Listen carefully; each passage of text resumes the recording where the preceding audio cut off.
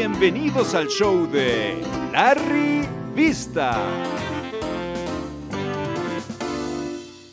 ¿Cómo les parece que al general Oscar Naranjo dice que lo van a condecorar como el mejor policía del mundo? Y uno dice, bueno, pero ¿a cuento de qué? ¿Qué es lo que tanto ha hecho? ¿A quién le ha ganado el general Naranjo como para que le den semejante distinción?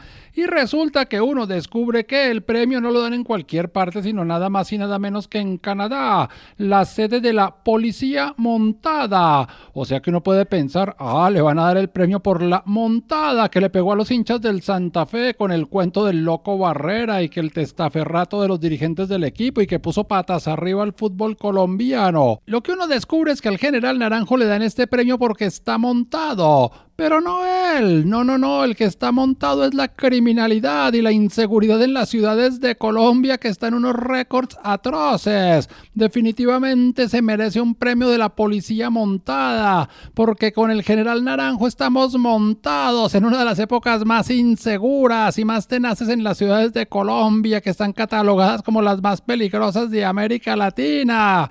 Felicitaciones, general Naranjo, por la montada en que estamos los colombianos entre el crimen y la inseguridad.